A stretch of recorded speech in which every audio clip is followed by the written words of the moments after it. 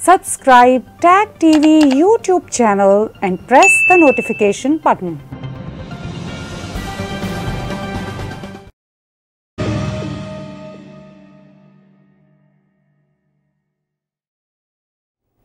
भारत में डेमोक्रेसी और कॉन्स्टिट्यूशन पर हमला खालिस्तान जिंदाबाद के नारे कनाडा अमेरिका से वायलेंस भारत के अंदर एक्सपोर्ट करने की वाज निशानियाँ। क्या भारत उस वायलेंस को कंट्रोल कर सकेगा? क्या भारत कनाडा, अमेरिका और दूसरे देशों के साथ ये मुद्दा उठाएगा कि यहाँ से इंसाइटमेंट की क्यों वहाँ पर दावतें जाती हैं, क्यों इनाम रखे जाते हैं? इससे जुड़ी हुई बात है कनाडा के एक एमपी रमेश सिंह सांगा जी को। लिबरल पार्टी ने इसलिए निकाल दिया अपनी लिबरल कॉकस से कि वो कुछ खरी खरी बातें किया करते थे। इसके साथ साथ बातचीत होगी यूएस कनाडा के जो रिलेशनशिप हैं ख़ास तौर पर ट्रेड के रिलेशनशिप चूँकि जो बाइडन की एडमिनिस्ट्रेशन ने आते ही कनाडा पर वार किया और कनाडा की जो पाइपलाइंस है, तेल की पाइपलाइन उसको बिल्कुल यक तरफा तौर से बंद कर दिया। ये है आज के हमारे करंट अफेयर्स के जो बड़े बड़े मुद्दे मैं आपके साथ डिस्कस कर रहा हूँ।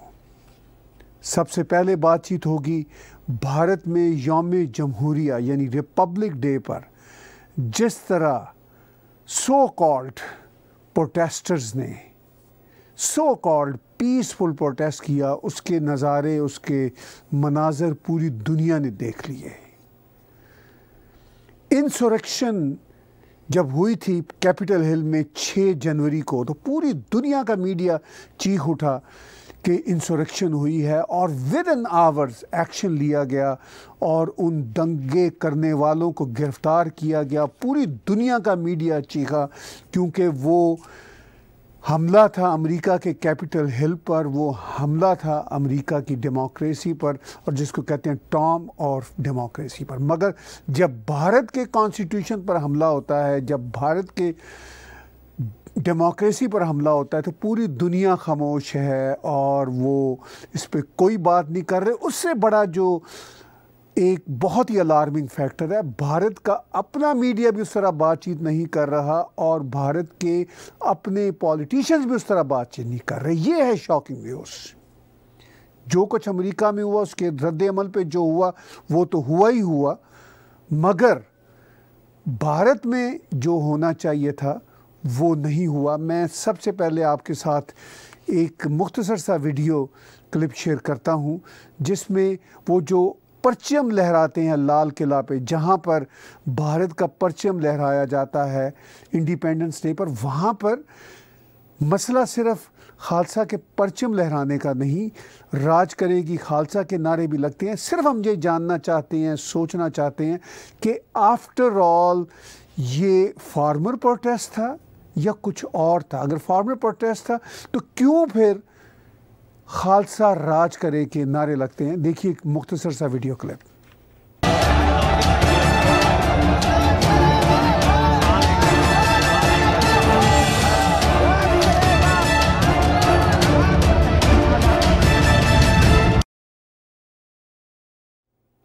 तो कहते हैं कहने वाले कि ये प्रोटेस्टर्स के प्रोटेस्ट हैं।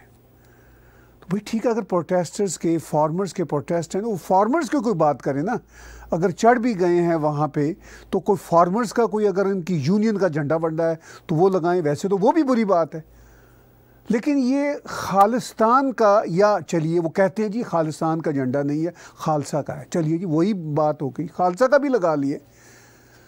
तो इसका क्या तुक बनता है? भाई खालसा दे झंडे का उत्थे की तुक बनता है? मेरी गल समझ तो बाहर है। ये तो फार्मर्स का प्रोटेस्ट है ना। तो इसके पीछे फिर क्या है माइंडसेट ये है बड़ी अफसोसनाक बात। यहाँ से लाखों डॉलर इनाम देने की बात होती है। यहाँ की जो ऑर्गेनाइजेशंस बैठी हुई हैं, खालिस्तानी, वो कह रही हैं अमेरिका से, कनाडा से कि भाई, हम लाखों डॉलर देंगे। जो भी झंडा लहराएगा खालिस्तान का। उस लाखों डॉलर के वसूल करने के लिए नौजवान वहाँ पे एक दूसरे से बाजी लेते हुए ऊपर जा रहे हैं कि भाई हमें ये पैसे मिल जाएँ। तो ये इंसाइटमेंट जो है वायलेंस की यहाँ से हो रही है, जिसमें अस्सी से ज़्यादा पुलिस ऑफिसर और प्रोटेस्टर्स भी उसमें ज़ख्मी हुए हैं। क्या यहाँ से सब कुछ हो रहा है? जब यहाँ से हो रहा है तो फिर भारत की सरकार क्या कर रही है? क्या अमेरिका से, कनाडा की सरकारों से मुतालबा करती है कि जो खुला वायलेंस यहाँ से इंसाइट किया जा रहा है, उस पर यहाँ की जो ऑर्गेनाइजेशन और लोग करते हैं, उनको बैन किया जाए? क्या कोई ऐसी बात होती है? यानी हैरत है कि भारत की तरफ़ से कोई हमें ऐसी बात सुनने को नहीं मिल रही और इंटरनेशनल कम्युनिटी भी खामोश है। इतने बड़े वायलेंस की इंसाइटमेंट हो रही है। वहाँ प्रेसिडेंट ट्रंप ने कहा था कि भाई आप जाएँ पीसफुली प्रोटेस्ट करें। वो लफज पीसफुली कहा था, उनके खिलाफ इम्पीचमेंट चल रही है। अपने ही प्रेसिडेंट के खिलाफ इम्पीचमेंट चल रही है और अपना ही मीडिया शोर मचा रहा है। और यहाँ पे जो इंसाइटमेंट करने वाले हैं वायलेंस करने वाले हैं, जो टेररिज्म को परवान चढ़ाने वाले हैं, वो बात खुलम खुला कर रहे हैं। और उनके ख़िलाफ़ ना यहाँ की सरकारें कोई कदम उठा रही हैं, ना डायस्पोरा हमारा कोई बोल रहा है और ना ही भारत की तरफ़ से हमने अभी तक एज ऑफ़ नाउ कोई स्टेटमेंट देखी कि उन्होंने ये मुतालबा किया हो कि भाई यहाँ से इंसाइटमेंट के जो वीडियो चल रहे हैं, जो सोशल मीडिया पे कैंपेन चल रही है इवन हमारे मेंबर पार्लियामेंटेरियंस उसमें इन्वॉल्व हैं, वो क्या है? अब इंसाइटमेंट की यहाँ से जो बातें चल रही हैं, वहाँ पे किस तरह का इंसाइटमेंट हो रहा है? उसकी एक झलक देखिए ज़रा।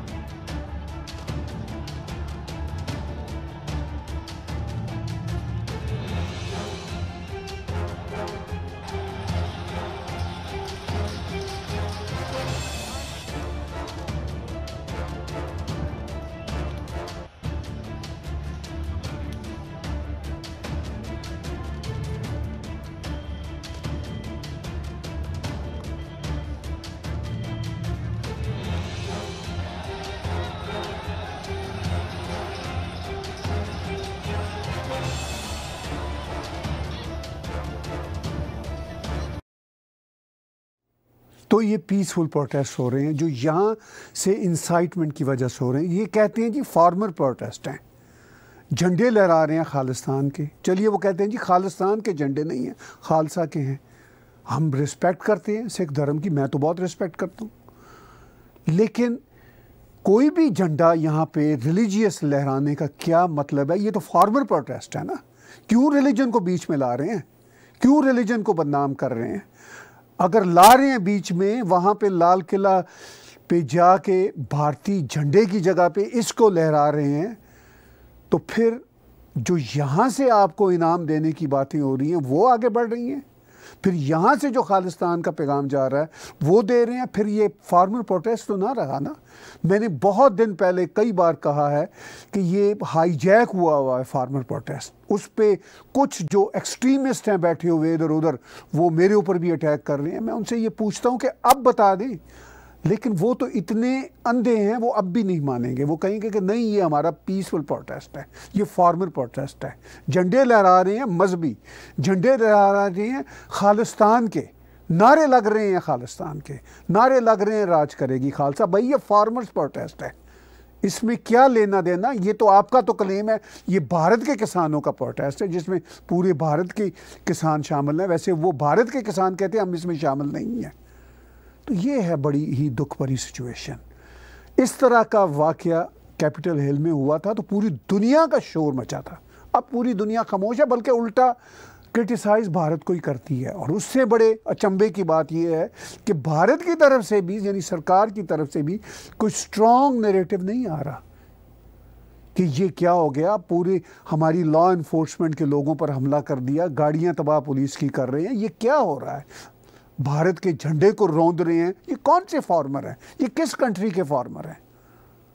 अब देखिए ज़रा इस वीडियो क्लिप को कि देखिए बेचारी जो लॉ इन्फोर्समेंट की पुलिस है, वो भाग रही है। हालाँकि पुलिस जो ख़ासतौर पर पूरी दुनिया में होती है, अमेरिका से लेकर भारत तक, वो ज़ाहिर उनके पास पावर होती है, उनके पास लॉ होता है, जो भी होता है, वो वो रिटेलिएट बहुत सख्त तरीके से करते हैं। लेकिन आप देखिए, आप सबने ये वायरल हुए हुए वीडियो क्लिप्स देखे हुए होंगे। मैं आपको फिर शेयर करता हूँ कि किस तरह पुलिस अपनी जान छुड़ा के भाग रही है, किस तरह भारतीय झंडे झंडे को पाँव तले रोंदा जा रहा है। भारत के अंदर देखिए ज़रा।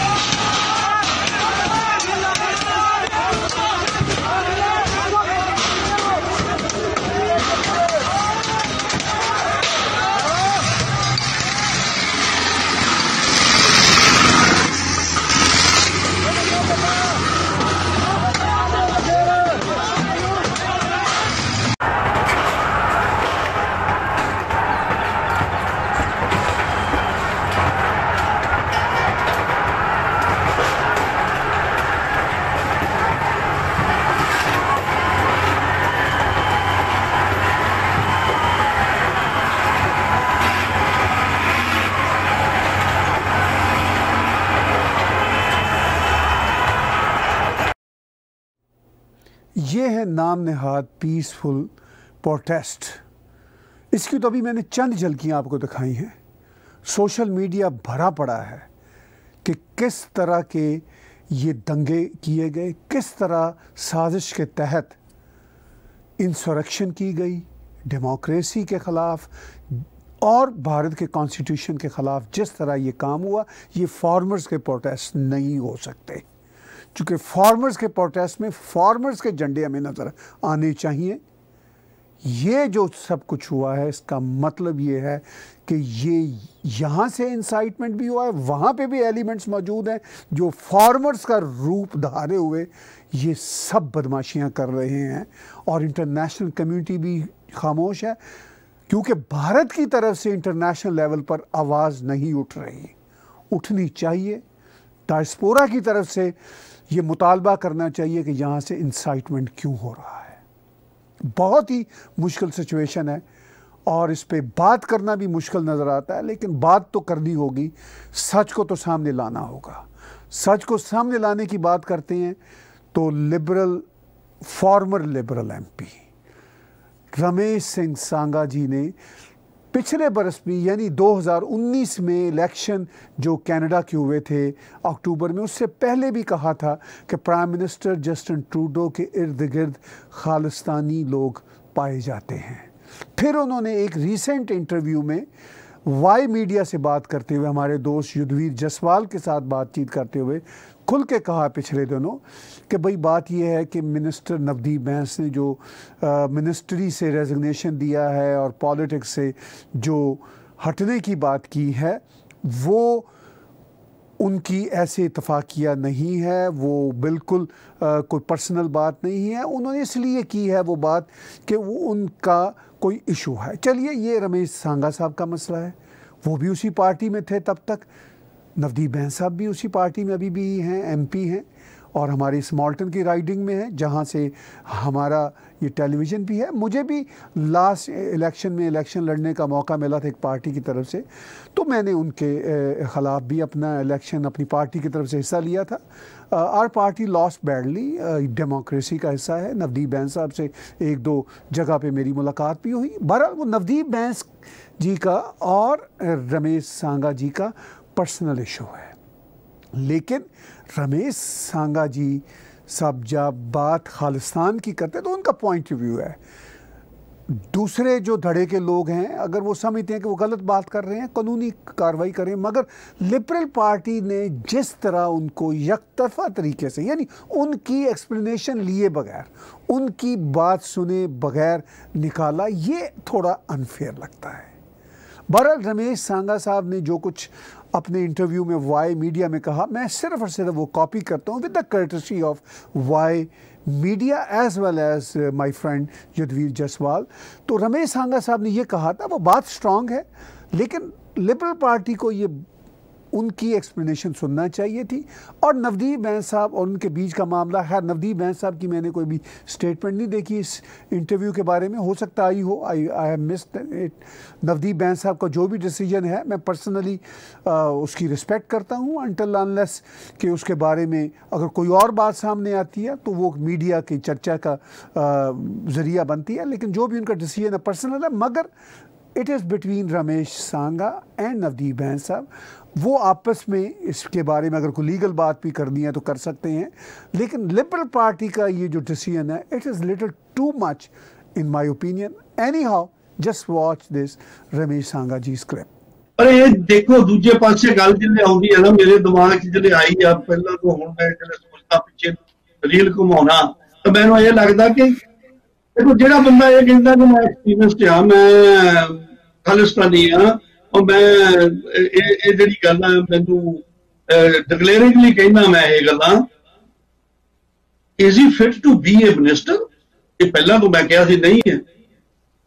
ਤੇ ਅੱਜ ਉਹ ਮੈਨੂੰ ਫਿਰ ਕਦੇ ਕਦੇ ਉਹ ਸ਼ੰਕਾ ਜਾਂ ਉੱਤੇ ਆਉਂਦਾ ਕਿ ਇਹ ਸ਼ਾਇਦ ਕੋਈ ਤੇ ਉਹਦਾ ਤਾਂ ਪ੍ਰਮਾਤਮਾ ਦੀ ਗੱਲ ਹੈ, ਜੋ ਵਾਹਿਗੁਰੂ ਨੇ ਕਰਨਾ ਹੋਣਾ ਤਾਂ ਉਹੀ ਆ ਹੁੰਦਾ ਤਾਂ ਉਹੀ ਆ। ਜਿਹੜੇ ਮੇਰੇ ਪਾਪਾ ਜੀ ਕਹਿੰਦੇ ਆ ਉਹ, ਕਹਿੰਦੇ ਆ ਕੁਝ ਐਵੇਂ ਨਾ ਘਬਰਾਇਆ ਕਰ ਜੋ ਕਰਨਾ ਪ੍ਰਮਾਤਮਾ ਕਰਦਾ ਹੁੰਦਾ। ਪਰਮਾਤਮਾ ਨੇ ਕੀਤਾ ਸਭ ਕੁਝ, ਜੋ ਕਰਦਾ ਪਰਮਾਤਮਾ ਹੀ ਕਰਦਾ, ਫਿਕਰ ਨਾ ਕਰਿਆ ਪਰ ਕਦੇ ਕਦੇ ਜਿਹੜੇ ਇਹ ਸੋਚਦੇ ਆ ਤੁਸੀਂ ਦਿਮਾਗ ਦੇ ਵਿੱਚ, ਕਿ ਜਦੋਂ ਤੁਸੀਂ ਇੱਕ ਵਾਰੀ ਡਿਕਲੇਅਰ ਹੋ ਚੁੱਕੇ ਆ ਕਿ ਮੈਂ ਐਕਸਟ੍ਰੀਮਿਸਟ ਆ, ਮੈਂ ਖਾਲਿਸਤਾਨੀ ਆ, ਅੱਜ ਦੇ ਹਾਲਤ ਜਦੋਂ ਅਸੀਂ ਦੇਖਦੇ ਆ ਸਾਡੇ ਇੱਥੇ ਸਾਊਥ ਦੇ ਵਿੱਚ ਕੀ ਹੋਇਆ ਅਮਰੀਕਾ ਦੇ ਵਿੱਚ ਕਿ ਉਹੋ ਜੀ ਲੀਡਰਸ਼ਿਪ ਜਿਹੜੇ ਐਕਸਟ੍ਰੀਮਿਸਟ ਆਈਡੀਆ ਤੇ ਹੈਗੇ ਆ, ਕਿ ਦੇ ਆਰ ਦੇ ਫਿਟ ਟੂ ਬੀ ਮਿਨਿਸਟਰਸ ਔਰ ਇਹ ਬੜੀ ਸ਼ੱਕ ਪਈ ਆ ਹੁਣ। ਇਹ ਜਿਹੜੀਆਂ ਚੀਜ਼ਾਂ ਨੇ ਬਾਰ-ਬਾਰ ਮੇਰੇ ਅੱਗੇ ਆਈ ਜਾਂਦੀਆਂ। ਤੇਲ ਦੇਖੋ ਅੱਗੇ ਕੀ ਹੁੰਦਾ ਜੀ, ਤੇਲ ਦੇਖੋ, ਤੇਲ ਦੀ ਤਾਰ ਦੇਖੋ, ਪਤਾ ਨਹੀਂ ਕੀ ਹੁੰਦਾ। ਹੱਲੇ ਤਾਂ ਬਹੁਤ ਕੁਝ ਅੱਗੇ ਆਉਣ ਨੂੰ ਪਤਾ ਨਹੀਂ ਕੀ ਹੁੰਦਾ, ਕੀ ਨਹੀਂ ਹੁੰਦਾ, ਆਪਾਂ ਨਹੀਂ ਇਹਦੇ ਬਾਰੇ ਬਹੁਤਾ ਕਰਨਾ ਚਾਹੁੰਦੇ। ਪਰ ਇੱਕ ਮੈਨੂੰ ਜ਼ਰੂਰ ਹੈਗਾ ਕਿ ਐਕਸਟ੍ਰੀਮਿਸਟ ਜਿਹੜਾ ਪੁਆਇੰਟ ਆ ਉਹ ਜਿਹੜਾ ਆ ਨਾ ਕਈ ਵਾਰੀ ਸ਼ਾਇਦ ਹੋ ਸਕਦਾ ਇੱਕ ਉਹੋ ਹੀ ਮੁੱਦਾ ਹੋਵੇ ਜਿਹੜਾ ਲੈ ਕੇ ਬਹਿ ਗਿਆ ਹੋਵੇ sometime sometime who knows MP Ramesh Sanga ji ने अपनी ओपिनियन दी नवदीप बैंस साहब के बारे में और वो उनकी ओपिनियन है स्ट्रॉन्ग ओपिनियन है नवदीप बैंस साहब अगर उस, उस पर कोई लीगल एक्शन देना चाहें उनके बारे उनके ख़िलाफ़ तो ये उनका आपस का मामला है आ, लेकिन बहरहाल उनके पास भी कोई ना कोई बात किया होगा आर्गूमेंट उनके पास भी आर्गूमेंट होगा। लेकिन मेरा सिर्फ़ पॉइंट ऑफ़ व्यू इसमें यह है कि लिबरल पार्टी ने जो इतना बड़ा एक्शन लिया ख़ास तौर पर उस एमपी की हमायत में, जो अब पॉलिटिक्स से रिज़ाइन भी होने का ऐलान कर रहे हैं, कह रहे हैं कि मैं अगला इलेक्शन नहीं लड़ूँगा और मिनिस्ट्री से रिज़ाइन हो चुके हैं, ये ज़रा ज़्यादा है। फिर रमेश आंगा जी ने अपनी बात में फिर बात की अमेरिका के कैपिटल हिल पे अटैक के तो उन्होंने कहा कि वहाँ पे भी एक्सट्रीमिस्ट आइडियाज़ थे उनके मुताबिक रमेश सांगा साहब के मुताबिक। तो वो कहते हैं कि क्या प्रेसिडेंट ट्रंप के नाम लिए बगैर वो, उठाते हैं ये क्वेश्चन कि वो क्या फिट थे इस काम के लिए। तो वही मसला भारत में होता है कि भारत में ये जो इंसरक्शन होती है ये जो अटैक डेमोक्रेसी पे और ये जो अटैक होता है कॉन्स्टिट्यूशन पर कॉन्स्टिट्यूशन डे यानी रिपब्लिक डे पर उस पर बहुत सारे सवाल उठते हैं कि यहाँ से इंसाइटमेंट जा रही है वहाँ पे। यहाँ पे जो लोग इंसाइट कर रहे हैं उनको भी इंटरनेशनल कम्युनिटी ज़रा पूछे उनको भी कोर्ट के कटहरे में लाए कि भाई ये क्यों हो रहा है ऐसा? इस तरह के आप ओपन स्टेटमेंट्स दे रहे हैं कि वहाँ पे हमले करें आप वहाँ पे आ, हम आपको इतने इतने लाख डॉलर देंगे। तो it is little too much और इस पे मेरा ख्याल है कि दुनिया में सिक्योरिटी को बेहतर बनाने के लिए दुनिया की हुकूमतों को पॉलिटिकल करेक्टनेस छोड़नी होगी एक्शन लेने होंगे और भारत को भी अपने मामले में इंटरनेशनल कम्युनिटी को झंझोड़ना होगा और पूछना होगा कि भाई आपके यहाँ ऐसे लोग क्यों बैठे हुए हैं जो इस तरह की बातें करते हैं। बहरहाल, रमेश सांगा जी ने अमेरिका का ज़िक्र किया, वहाँ पर जो कुछ हुआ, बुरा हुआ, उसके बाद ऑफ़ कोर्स नई गवर्नमेंट भी अमेरिका में आ चुकी है, मगर नई गवर्नमेंट का जो ख़ास तौर पर हमारे कनाडा के साथ ताल्लुक है, जो सलूक है, वो ट्रेड पर उन्होंने बहुत बड़ी कारी ज़रब लगाई। उन्होंने एक्सेल पाइप लाइन को ही कैंसिल कर दिया। प्रेसिडेंट जो बाइडन ने एक ही साइन करके। अगरचे उन्होंने कहा हुआ था कि मैं मैं इसको कैंसिल करूँगा अपनी कैंपेन के दौरान भी। लेकिन वो भी अनफेयर था कहना, और ये करना भी अनफेयर था। इसलिए कि ये कोई बात नहीं चल रही थी, ये एक्शन हो चुका हुआ था। ये तो कई सालों से ये पाइपलाइन पे इन्वेस्टमेंट हो रही है मोस्टली कैनेडियंस की हो रही है अमेरिकन की भी उसमें इन्वेस्टमेंट है। हज़ारों लोग उसमें थे। कनाडा के ख़ास तौर पर जो हमारे अल्बर्टा प्रोविंस के कोई 100 बिलियन डॉलर का वो तेल का, वो उस, उसके साथ ट्रेड वाबस्ता है। हज़ारों लोगों की नौकरियाँ। मैंने पहले भी ये वीडियो क्लिप दिखाया था अल्बर्टा के प्रीमियर जेसन कैनी साहब का। और जेसन कैनी ने बड़े वाज तौर पर तब भी कहा था कि हम ये एक्सपेक्ट नहीं करते थे कि हमारा इतना क्लोज एलाए हम पर इतना बुरा हमला करेगा। उन्होंने एक बाद में भी इंटरव्यू में भी कहा जैसन कैनी ने कि हमें पता है कि उन्होंने कहा था कि वो ये एक्शन लेंगे लेकिन प्रेसिडेंट बनने के बाद वो एटलीस्ट कनाडा से कंसल्ट तो करते ना और फिर ये कोई बातचीत नहीं चल रही थी। ये तो एक ऑलरेडी हैवी इन्वेस्टमेंट इसमें इन्वॉल्व थी। मैं उस वीडियो क्लिप को दोबारा दिखाता हूँ प्रीमियर जेसन कैनी का जो कंसर्न है। As friends and allies of the United States, we are deeply disturbed that one of President Biden's first actions in office has been to rescind the presidential permit for the Keystone XL pipeline border crossing. This is a gut punch for the Canadian and Alberta economies. Sadly, it is an insult directed at the United States' most important ally and trading partner on day one of a new administration. Today, as I speak, over 2,000 women and men have lost their jobs or are heading home from good paying union jobs as a result of this decision. My thought Jason Kenney ने बहुत was तौर पर कहा कि हम America से ये expect नहीं करते थे कि हमारे आ, साथ इतना बुरा सलूक होगा जबकि इस एक्सेल पाइपलाइन के ज़रिए बहुत ज़्यादा तेल जो अमेरिका को जा रहा है, उसका अमेरिका को भी फ़ायदा था, क्योंकि अमेरिका को बाहर से तेल लेने की बजाय कनाडा से तेल लेना इजी है। लेकिन अनफॉर्चुनेटली दुनिया का जो सीन पार्ट है, वो बदलता जा रहा है। उसमें दोस्तों को दोस्तों की पहचान ही नहीं है और दोस्तों को दुश्मनों का भी पता नहीं है कि भाई अमेरिकन न्यू एडमिनिस्ट्रेशन को एहसास होना चाहिए कि कनाडा से ज़्यादा और हम कैनेडियन से ज़्यादा उनके कौन दोस्त हो सकते हैं?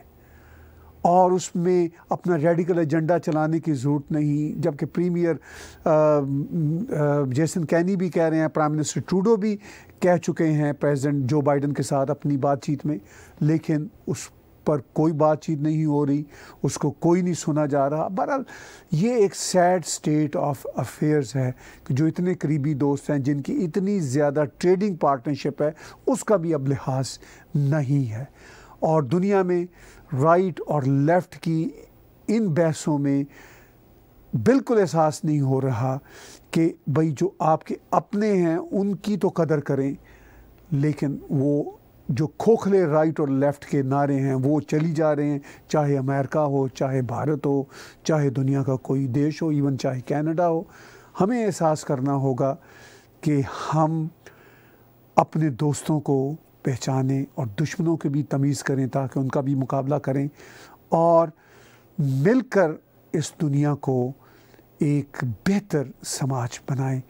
आज का बिला तकल्लफ, तजिया बहुत ही कंटेम्प्रेरी इश्यूज़ के साथ, मेरी कमेंट्री के साथ आपने सुना और देखा बहुत बहुत शुक्रिया subscribe tag TV YouTube channel and press the notification button.